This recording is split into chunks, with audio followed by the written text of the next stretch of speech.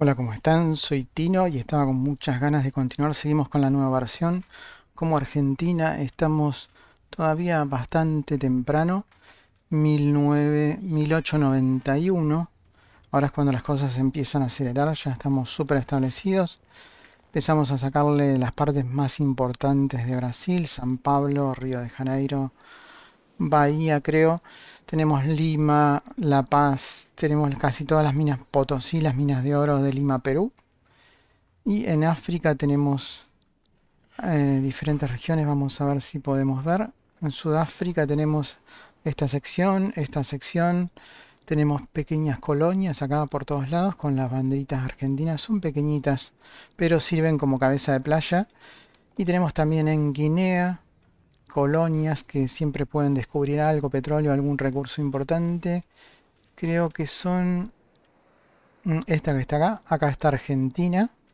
Ahí donde está el mouse. Pero tenemos otras pequeñas colonias donde están las banderas. Y se rebelaron, así que nos vino bien porque aprovechamos y conquistamos todo el territorio. Y económicamente estamos espectacular. Eh, tenemos una producción 740 puntos de construcción. Imagínense que cuando empiece el juego te empezamos con 5. Y en los ingresos tenemos unas reservas bestiales, 51 millones. Los ingresos, tenemos reservas de 2 millones en el fondo de inversión. Poco comparado con las reservas, el banco está atiborrado de reservas. Los ingresos son de un millón de libras, o sea, una bestialidad y nuestros gastos permanentes son de 600 mil 600 y pico así que tenemos 350 mil libras para gastar ya sea en ejército o en construcciones lo estamos reinvirtiendo por ahora pero vamos a crear unos 100 batallones más.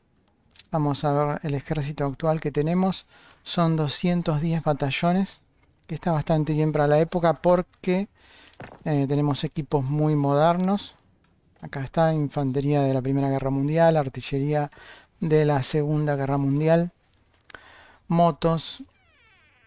Tenemos reconocimiento del segundo nivel. A ver cuál es. Machine Gunners. Ah, Machine Gunners. Tenemos ametralladoras.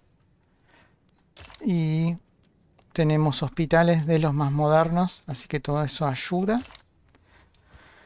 Ya estamos actualizados, acabo de revisar todos los, todos los métodos de producción. Como estamos en una confederación, en una, somos socios comerciales de Inglaterra, somos, en realidad son nuestros protectores. Conviene cuando uno es parte de una unión comercial tener todo actualizado, ya que la unión comercial se encarga de proveer todas las materias primas baratas que nos faltan. Pero somos el socio comercial más poderoso, más poderoso que Inglaterra. Estamos en rango 8 porque somos súbditos de Inglaterra, entre comillas. Pero si ordenamos por Producto Bruto Interno, ya estamos en la posición número 1. Y el segundo es Austria. Que bueno, cuando nos independicemos de Gran Bretaña vamos a estar número 1. Pero por ahora nos conviene porque de esta forma le podemos vender todos nuestros productos a todo el mercado inglés que es enorme. Son todos estos países, entonces gracias a Inglaterra nosotros le vendemos a todos estos países y Inglaterra se encarga de pagar los transportes, nosotros no tenemos que pagar absolutamente nada.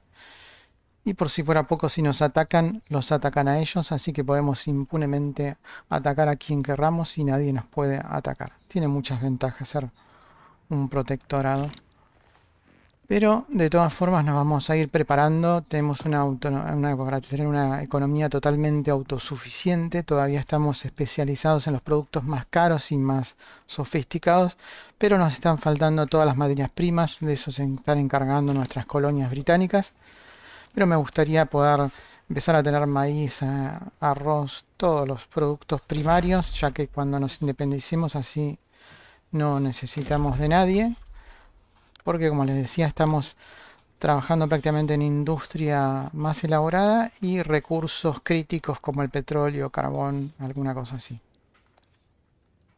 Y como estamos construyendo tantas, tantas fábricas permanentemente, estamos con falta de acceso al mercado, que esto es porque al crear nuevas fábricas falta infraestructura y la infraestructura se soluciona con ferrocarriles Así que permanentemente estamos construyendo ferrocarriles por todos lados. Vamos a la página 3, 2, 1, página número 1. Siempre los ferrocarriles arriba de todos los pongo. Y estoy optando por cuando nos quedamos sin ferrocarriles en una provincia, ya preventivamente construimos de A3, mínimo de A2 o de A4, según cual sea la provincia, de forma aunque sea que por un tiempito no necesitamos construir más en esos lugares. Nuestra población es de 35 millones. Tenemos 2.9 de disidentes. Obviamente cada vez que conquistamos territorios están muy enojados en los nuevos países, pero a favor ya tenemos 4.9, o sea que los leales son mayores que los disidentes. Y tenemos un nivel de alfabetismo bastante alto, 61%. Alfabetización y bueno, creo que no hay mucho más para mostrar de estado. Así que vamos a empezar a directamente... Ah, sí, nos falta mostrar nuestra infamia que ya está medio por las nubes. Estamos en 78, pero como ya estamos siendo casi tan poderosos, vamos a directamente ignorar la infamia y seguir adelante con las conquistas. Así como le decía, vamos a empezar a poner barracas. Y me gustaría poner barracas distribuidas en todos lados, inclusive en África, porque aunque no las movilicemos, sirven como defensa. Por ejemplo, esta ciudad del Cabo, ahí tenemos 0. Vamos a poner 5. Y en todos lados vamos a poner 5 barracas y después las vamos a concentrar en los lugares donde más población que tenemos, que es Uruguay y Buenos Aires. Y como les decía, el petróleo se iba a ir a las nubes. Así que vamos a ver si tenemos algún lugar más. Municiones también necesitamos. Y vamos a terminar con el ejército Zulu. Acá en Sudáfrica ya tenemos, tenemos varias partes de Sudáfrica. Nos quedó este pedacito. Así que vamos a reclamar todo. Conquistar estado. Conquer state. Y solamente tienen uno más. Así que son dos territorios que les reclamamos. Y mandamos ya de entrada 80 divisiones. 80 batallones, perdón.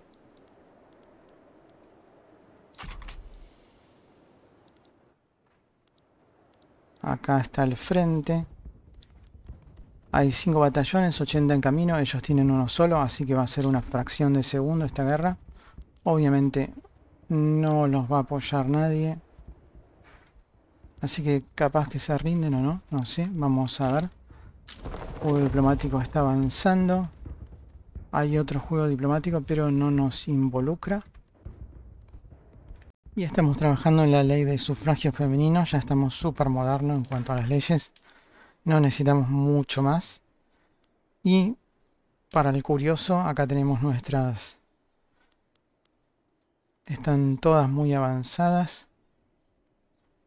Esto ahora se llamaba instituciones.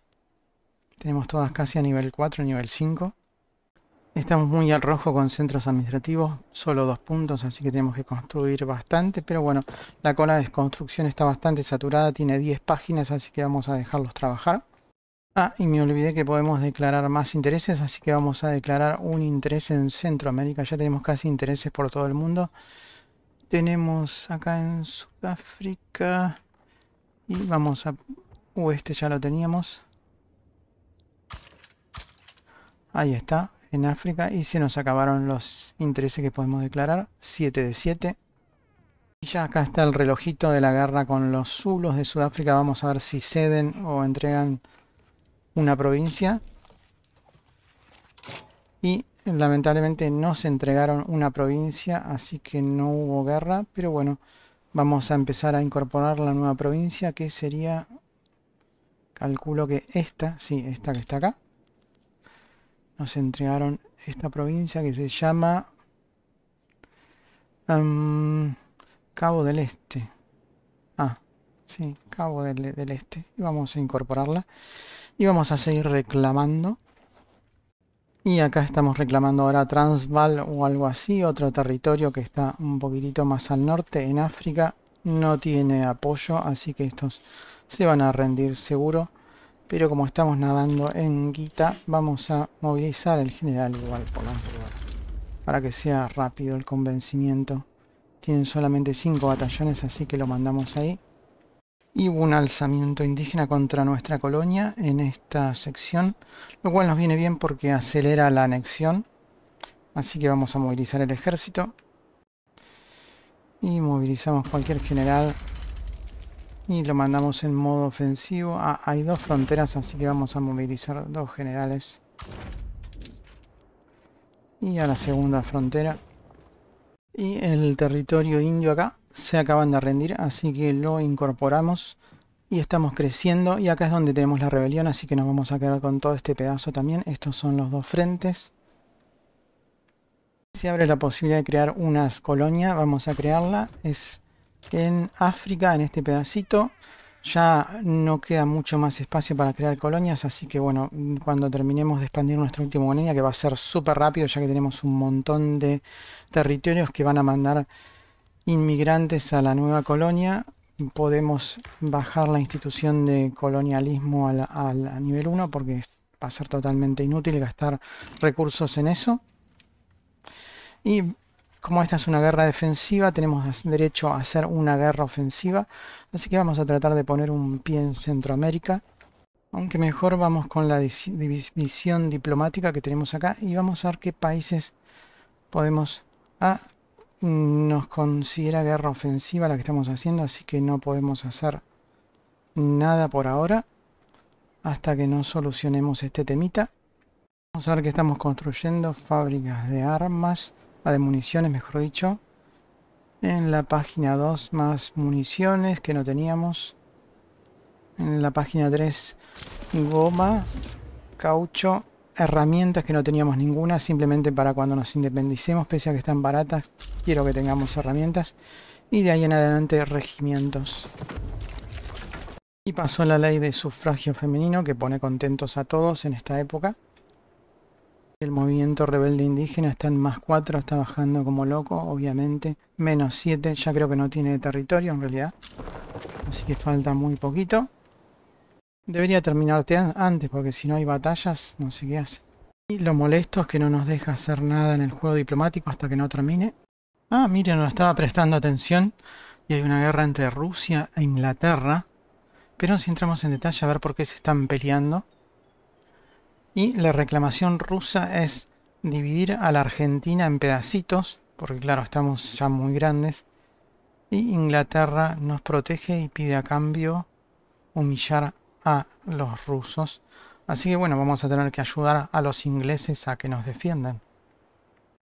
Y terminó la revuelta india. Tenemos más tecnología, vamos a ver de qué se trata. Modifiers. Plus 30.0% Army Defense. Bien. 5.00% Morale Loss. 1 RII. Bueno, una bestialidad esta tecnología para el ejército. Que nos da unos bonos increíbles. A ver de qué se a defensa en profundidad y nos da un montón que es 5% menos de bajas pero más 30% en defensa un montón vamos a ir por una de las tecnologías militares de nivel 5 Stormtroopers que es la infantería de asalto ya usada en la segunda guerra mundial y ya que estamos mientras vamos a atacar América Central que está protegida por los rusos, pero ya vamos a estar en guerra con los rusos, así que no importa, una mancha más al tigre. Y vamos a ver qué podemos, ahí estamos pidiendo la parte de... Ah, no, no podemos solamente... Estamos pidiendo un territorio y es Costa Rica. Vamos a ver si alguien se une automáticamente. Bueno, empezamos la guerra con Inglaterra, digo con Rusia. 304 batallones. Inglaterra nos da lo suyo. Bueno, solamente 43 movilizó. Vamos a tener que nosotros hacer el trabajo. Para salvarle las papas, porque si no vamos a quedar particionados. Así que... mm, bueno, ya empezamos el juego militar con... Bueno, dice América Central, no se sabe qué país es. Así que vamos contra América Central. Y no podemos agregar más, agregar más reclamos. Vamos a ver en qué podemos ayudar a los ingleses mientras tanto. Bueno, si vamos al ejército y decimos un frente, no hay frentes creados. Así que hasta que no haya frentes creados no pasa nada. Bueno, y Costa Rica se rindió sin luchar porque no contaban con el apoyo ruso, ya que Rusia está ocupada justamente con nosotros. Así que vamos a incorporar Costa Rica y vamos a seguir nuestra campaña imperialista. Pero parece que tenemos que terminar primero con la guerra con los rusos, así que vamos a hacerle directamente mm, tal vez un desembarco en Rusia porque si no esta guerra no va a terminar más, está en 95.0 contra 95.5, no hay frentes. Y acá noté algo interesante, tengo dos comandantes, uno que está en el Congo y el otro en Buenos Aires. De la flota de Buenos Aires tiene un ejército masivo y una flota masiva, pero fíjense, hacemos desembarco y no nos ofrece ninguna. En cambio, el del Congo, si intentamos hacer desembarco, nos ofrece bastantes blancos por la zona de, de Asia y Oceanía. Así que... Ah, no, no, no, no. Directamente en Europa, perdón. Mm. Así que teníamos que reforzar fuertemente el ejército del Congo para poder intentar invadir en Europa, porque desde Argentina no llegamos. Y la flota del Congo es muy chiquitita. Pero bueno, vamos a intentarlo de todas formas en el punto supuestamente más débil. Que no sé cuál puede ser. Podrá ser... Déjenme pensar. Y los puntos de desembarco son directamente sobre el Báltico, así que va a ser imposible lo que sería Polonia. No tenemos chance ahí porque seguro que está todo el ejército ruso. Tenemos que fortalecer mucho la, la marina. Pero bueno, vamos a hacer eso. Así que la flota del Congo la pasamos de 5 a 20. Y vamos a ir a la fabricación. Página 6 de 6. Tiene que estar al final. Y son 15. 1, 2, 3, 4. Bueno, ahí va a estar. Pasemos el ferrocarril también. Y reforzamos un poquito la flota del Congo. Ahora tiene 15 flotillas, pero los rusos tienen 16. No nos dejan pasar, vamos a tener que reforzarla un poco más. Y estamos viendo la flota del Congo, tiene capacidad de 20, estamos haciendo 10 más, ya va 21. Pero tienen que reclutar y entrenar marineros. Y el problema es que justo fui a meter la base en la pequeña mini colonia del Congo en formación que claro no tiene personal así que vamos a ver si en Ciudad del Cabo hay lugar y sí, en Cape Colony tenemos 218, un montón, así que vamos a mover la base naval ahí. Y vamos a desmantelar la del Congo. Terminó la guerra entre Rusia e Inglaterra protegiendo Argentina, así que fue una paz blanca, no pasa nada. Todos amigos de vuelta. Y con la paz ya podemos empezar otra guerra. Esta vez va contra Nicaragua, que Guatemala los apoya, así que vamos contra Guatemala. Y una lista de objetivos centroamericanos. Guatemala, Nicaragua, Honduras. Y reclamamos también una provincia de México. México es la potencia que va a defenderlos. Pero bueno, vamos a movilizar el ejército ya de entrada. Bueno, Nicaragua se retractó, pero estamos teniendo una revuelta acá en el Congo, así que vamos a expandirnos.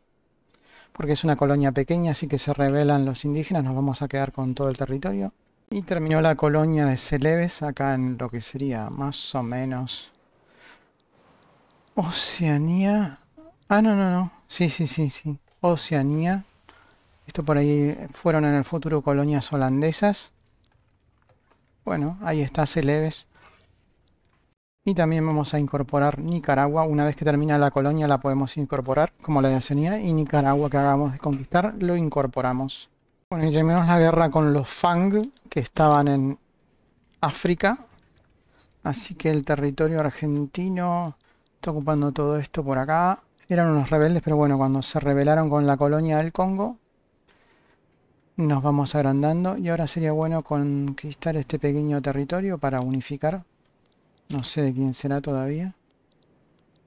Um, y vamos a enfrentar al último reducto Zulu, que es esa pequeña provincia. Seguramente hay oro ahí. Y hablando de minas de oro en Sudáfrica, tenemos en uno de los territorios capturados nueve minas de oro que dan una fortuna con los métodos de producción actuales que tenemos. Nuestros ingresos en acuñación son 365 mil libras, de los cuales una buena parte son de las minas de oro. Y el imperio Zulu fue derrotado, así que vamos a incorporar la última provincia Zulu. Y vamos a ver si había oro ahí. Mm, construcciones, recursos, oro. Y en la provincia Zulu había 8 minas de oro, así que ya había 4 construidas. Vamos a hacer las otras 4 y nos quedamos con todo el oro sudafricano. Sudáfrica es un buen objetivo para atacar porque los Kruger vienen de Sudáfrica, las famosas monedas de oro. Hay minas de oro muy ricas en esta región y está defendida por los Zulus que no son un gran peligro y nadie los defiende. Y empezamos a integrar Gabón, que era donde se habían rebelado. Al perder la rebelión, nos quedamos con toda la provincia. Y vamos a ver qué tenía. Siempre vienen los recursos, se van descubriendo de todo en esos lugares extraños. Y al tener las provincias costeras podemos expandir colonias hacia el interior de África. Vamos a ver dónde más, ahí. Así que de vuelta estamos trabajando en un montón de colonias. Bueno, pasaron solo tres años, pero nos apoderamos de todo el oro de Sudáfrica, algunas colonias, un poquito más en Oceanía, muy poquito. Y no sé si alcanzamos ahora a avanzar en, América. En Producto Bruto estamos arriba de todo y estamos un 20% arriba del segundo, que sería Austria. Pero fue una mañana tarde muy complicada, así que no pude grabar mucho más que esto. Y les agradezco por acompañarme. Nos vemos. Chau, chau.